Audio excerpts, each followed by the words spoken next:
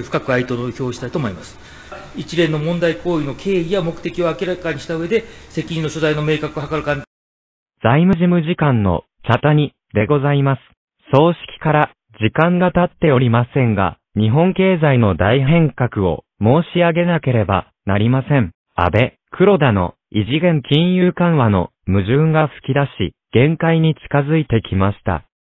日本の借金は GDP の2倍に膨らんだが、GDP は停滞し、賃金は増えない。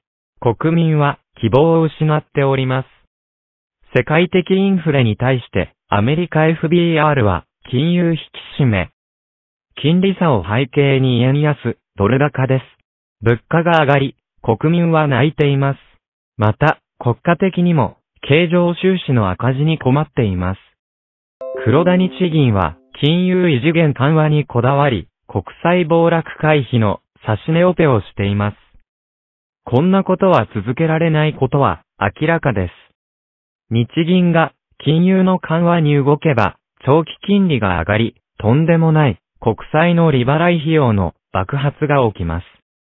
長期の歪んだ金融政策からの出口戦略ができなければ日本は終わりになります。